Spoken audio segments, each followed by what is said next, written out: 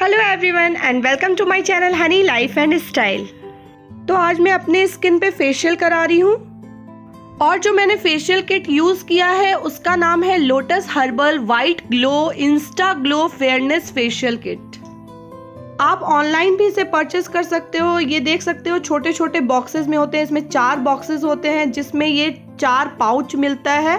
तो आप चार बार इसे अप्लाई कर सकते हो। आप किसी भी फोर पर्सन पे अप्लाई कर सकते हो। तो वन बॉक्स में चार पाउच होते हैं और वन पर्सन पे अप्लाई कर सकते हैं।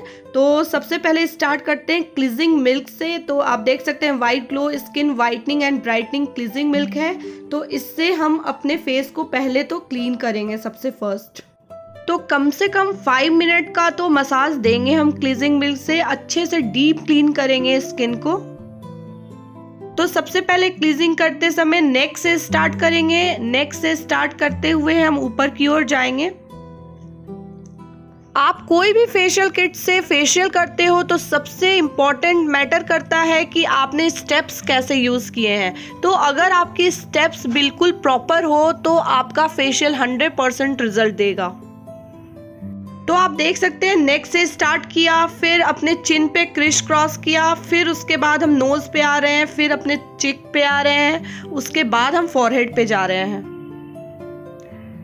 तो आई होप कि ये वीडियो आपको बहुत ही हेल्पफुल होगा, जो आप अच्छे से स्टेप जान पाओ कि आपको कौन कौन सा स्टेप कब यूज़ करना है। और काफ़ी अच्छा वीडियो है ये, आप प्लीज़ अंत तक देखना कि आपको अच्छे से समझ आए कि आपको कैसे स्टेप यूज़ करना है और किस तरीके से क्रीम को अप्लाई करना है। क्लीनिंग के बाद आप अपने फेस को अच्छे से वाइप से, पानी की हेल्प से अपने फेस को अच्छे से क्लीन कर लीजिए। आप टॉवल भी यूज़ कर सकते हैं। अब स्क्रब अप्लाई करेंगे। यहाँ पे oatmeal and yogurt skin whitening and brightening scrub है।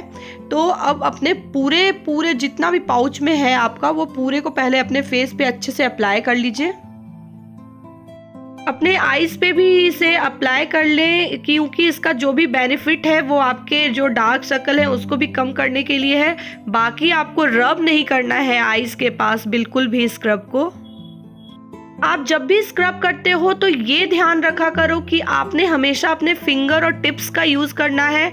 अपने पाम का बिल्कुल भी यूज़ नहीं करना है स्क्रब करते टाइम बीच बीच में पानी का ज़रूर यूज़ करो। बहुत सूखा नहीं रहना चाहिए। स्क्रब हमेशा गीला होना चाहिए। लोटस वाइट ग्लो का जो ये स्क्रब है, इसमें ओट मिल्स और योगर्ट होता है, जो हमारे स्किन को बहुत ही अच्छे से एक्सपोलिएट करता है। साथ में हमारा जो भी इम्प्योरिटीज़ है, वो ब्लैक हेड है वाइट हेड है, इन सबको बहुत ही अच्छे से ईजिली रिमूव कर लेता है। तो गीला वाइप से अच्छे से स्किन को क्लीन कर लें। एक भी स्क्रब के दाने नहीं होने चाहिए, क्योंकि जब हम मसाज करेंगे तो वो बहुत ही स्मूथली होना चाहिए। अगर आपके स्किन पे स्टीम लेने की ज़रूरत है, बहुत ज़्यादा वाइट हेड ब्लैक हेड है तो आप पहले स्टीम ले लो और उसके बाद पिन की हेल्प से आपने वाइट हेड और ब्लैक हेड को निकालना है।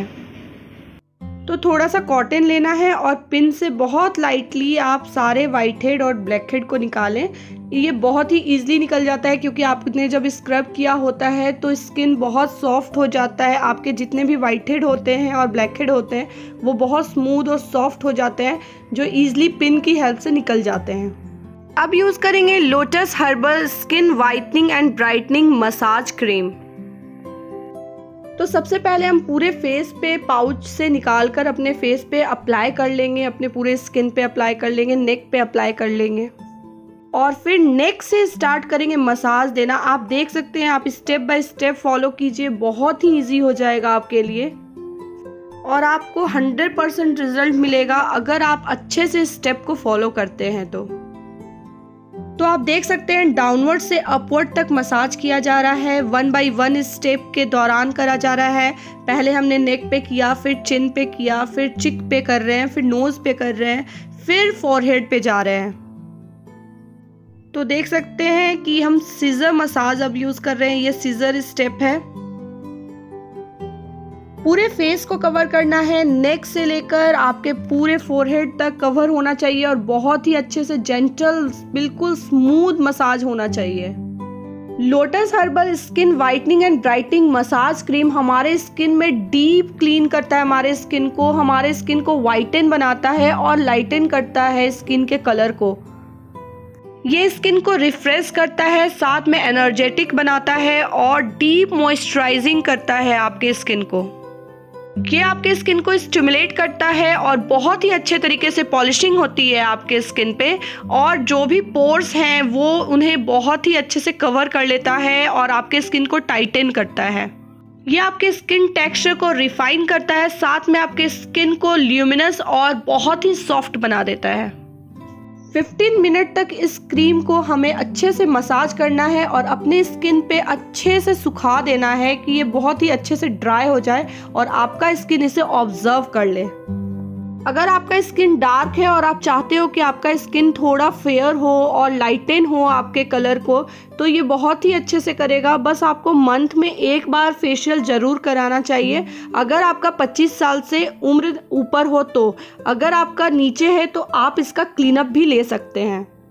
अब प्रेशर पॉइंट पे काम करना है तो आप देख सकते हो किस तरीके से प्रेशर दिया जा रहा है और कहाँ कहाँ प्रेशर दिया जा रहा है। आपको ये बहुत ही ध्यान से देखना चाहिए कि किस पार्ट पे आपको कहाँ पे प्रेशर देना पड़ता है।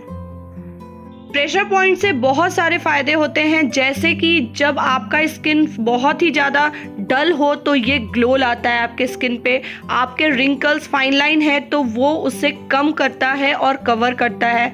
साथ में आपको 100 परसेंट रिलैक्समेंट फील होगा जब आप प्रेशर पॉइंट के साथ काम करोगे तो। तो आप एक एक स्टेप अच्छे से फॉलो कीजिए, जिसकी वजह से आपके भी बहुत ही अच्छे से फेशियल हों और बहुत ही अच्छा रिज़ल्ट मिले आपको।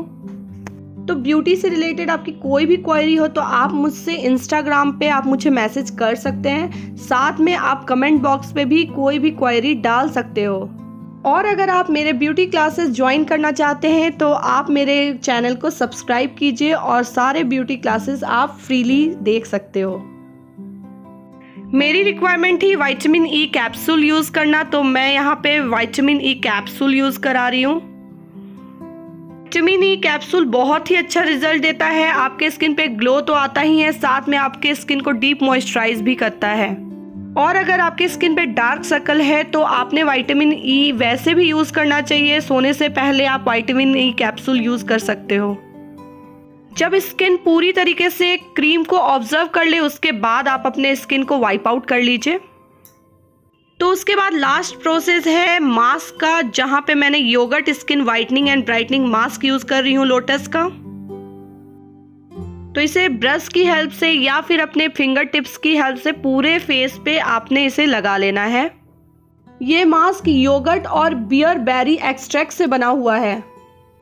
योगर्ट में लैक्टिक एसिड प्रॉपर्टीज़ पाई जाती हैं, जो स्किन को लाइटन करने में बहुत ही हेल्पफुल होती है। बियोबेरी में एंटीसेप्टिक प्रॉपर्टीज़ पाई जाती है, जिनकी वजह से हमारे स्किन के बैक्टीरिया को ये रिमूव करता है, साथ में स्किन को फेयरर करता है और स्किन पे काफ़ी ग्लो आ जाता है। जब मास्क 80 परसेंट ड्राई हो जाए तो आपने पहले वाइप रखकर डैब डैब करना है, उसके बाद ही उसे अच्छे से रिवाइप आउट करना है। मेरे स्किन पे बहुत ही अच्छा ग्लो आया है, काफ़ी इफ़ेक्टिव फेशियल हुआ है ये। और आपको कैसा लगा ये ज़रूर बताना, और वीडियो अच्छी लगी तो लाइक और शेयर ज़रूर करना।